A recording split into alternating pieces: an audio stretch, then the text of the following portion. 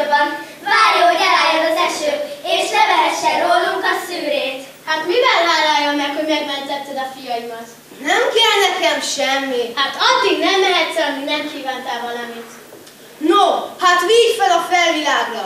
Hát, ha ezt más kérte volna, egy óra is sem ért volna, de neked megteszem. Hálából felvisz.